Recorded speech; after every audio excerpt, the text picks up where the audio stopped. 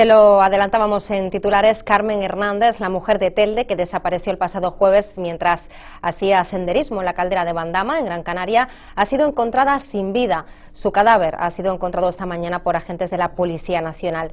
Luis Socorro tiene más información. Luis.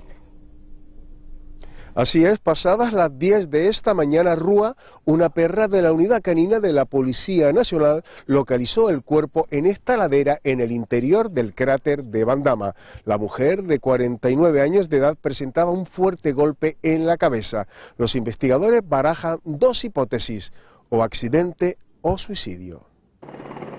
Minutos después de las 2 de esta tarde, el cadáver de la teldense Carmen Rosa Hernández erizado por un helicóptero de rescate, desde que se encontró el cuerpo de esta mujer de 49 años en un lugar muy escarpado de esta caldera volcánica hasta que fue rescatado, pasaron unas cuatro horas.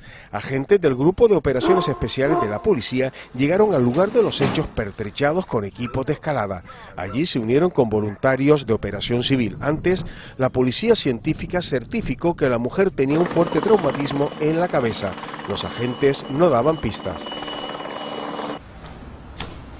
Buenos días. A ver, no te, voy a dar, no te voy a decir nada, por favor, apaga la cámara. Carmen desapareció el pasado jueves santo. Estaba recorriendo el cráter de Bandama con varios familiares y amigos. Les dijo que iba a descansar y que luego los alcanzaría. Pero la mujer nunca se encontró con sus familiares. Varios de ellos, seis días después de la desaparición, acudieron a Bandama al conocer el hallazgo. La Policía Nacional cortó el acceso al sendero que conduce al fondo de la caldera.